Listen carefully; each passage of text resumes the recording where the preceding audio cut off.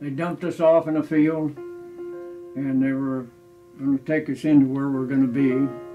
We passed a little sign that said Bastogne. That's how much we knew about this country and, and how to pronounce the names. And for some reason, I don't know why, I said to the guys, uh, take a good look at that sign. We're going to make history here.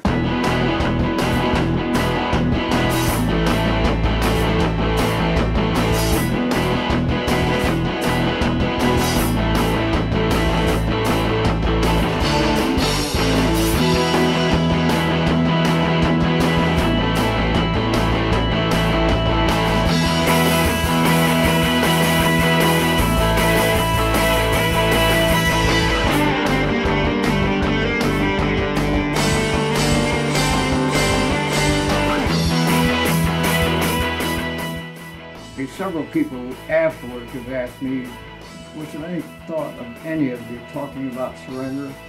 I said, absolutely not. There was no even imagination of surrendering. We never were taught that. That was not the way we were.